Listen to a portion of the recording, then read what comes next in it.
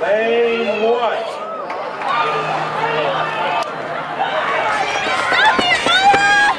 Right, guys. 4x1 here at the California Relays. How you feeling after after the race? Whatever. Pretty, Yeah, pretty cool. good. Kind of upset we didn't PR, but sorry. I mean, it was another job for us, honestly. So yeah. yeah. Was there anything that went wrong? How come you guys didn't PR? What's up? Um, complications. You got to get fully healthy. With me, kind of slow down a little bit. Um, two, not really any competition, honestly. Yeah. We need to get pushed to run faster. So Yeah. What are some things you guys can work on besides having competition? What are some things you guys can work on to help improve that PR and stuff? Just keep sharpening up on what we're doing, handoffs. yeah, Yeah, handoffs.